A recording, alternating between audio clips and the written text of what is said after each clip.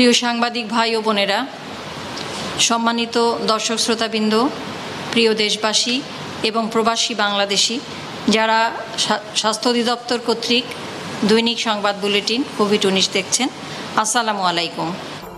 আজ তেরো আগস্ট দুই হাজার একুশ, রোজ শুক্রবার। জেনে নিন গত চব্বিশ ঘণ্টার করোনা ভাইরাসের সর্বশেষ খবর। গত চব্বিশ ঘন্টায় সারা বাংলাদেশে মোট নমুনা পরীক্ষা হয়েছে চল্লিশ হাজার ছয়শো একচল্লিশটি। পরীক্ষার অনুপাতে শনাক্তের হার বিশ দশমিক আট তিন শতাংশ। গত চব্বিশ ঘন্টায় শনাক্ত হয়েছেন আট হাজার চারশো পঁয়ষট্টি জন। এই নিয়ে মোট শনাক্ত চোদ্দ লক্ষ পাঁচ হাজার তিনশো তেত্রিশ জন। গত চব্বিশ ঘন্টায় সুস্থ হয়েছেন এগারো হাজার চারশো সাতান্ন জন।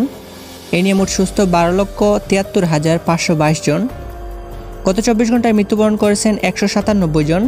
এই নিয়ে মোট মৃত্যুর সংখ্যা বেড়ে দাঁড়াল তেইশ হাজার আটশো দশ জনে।